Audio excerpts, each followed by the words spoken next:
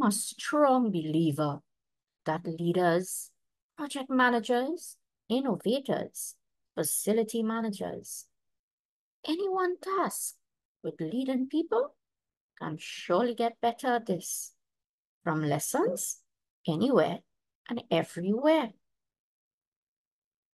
Now, this is a story that I have from the beach.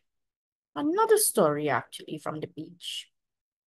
And what is a learning that I'm getting from the beach, going to the beach? Going to the beach,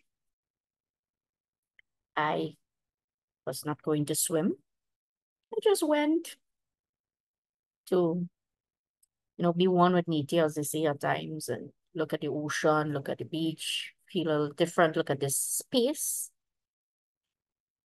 It is really simplicity. That's what I want to, I want us to think about. And that's what I'm thinking about when I go to the beach. Things are very simple. You look at nature, you look at all of the water, you look at the sun. No, it's simplicity. And what is the learnings that leaders can definitely get from this? Is that we need to simplify our processes. There are so many times that in organizations, things are not working because we want to overcomplicate things.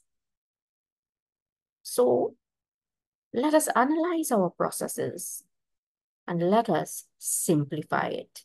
It's easy. It is really easy to do. Make it simple. Make it simple. Until next time, everybody, keep on learning, keep on growing, keep on looking for lessons from anywhere and everywhere. Don't forget to hit the subscribe button.